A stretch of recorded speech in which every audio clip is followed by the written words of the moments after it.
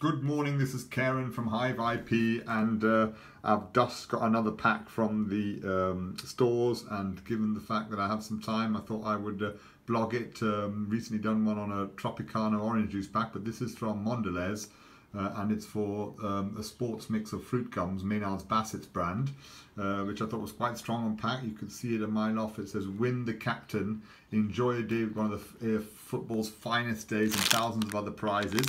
So I quickly um, bought the pack, brought it home, and this is how you play. Um, you can uh, enjoy with one of football's finest captains, plus win a thousand of other prizes.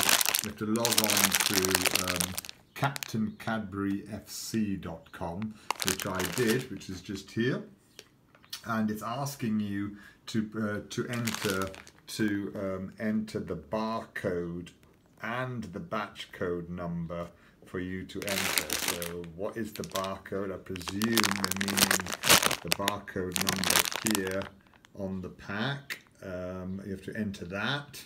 Um, and then you also have to enter the, uh, and actually the phone has magnified it quite well, the um, uh, the batch code, which they've made it as EGSB, so I presume it's the one here, but uh, you know, there's a lot of coding. It says OSH, so I presume it's that one. But uh, so you have to enter two codes, the barcode and batch code, both of which aren't unique.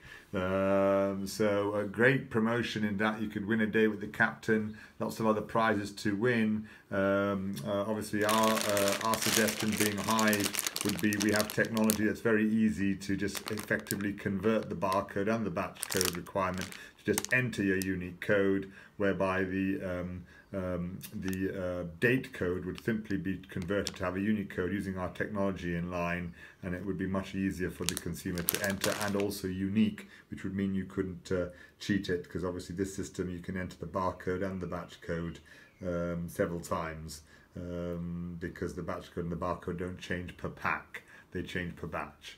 Um, I hope you are enjoying uh, your day and I shall now open the pack and enjoy a fruit gum.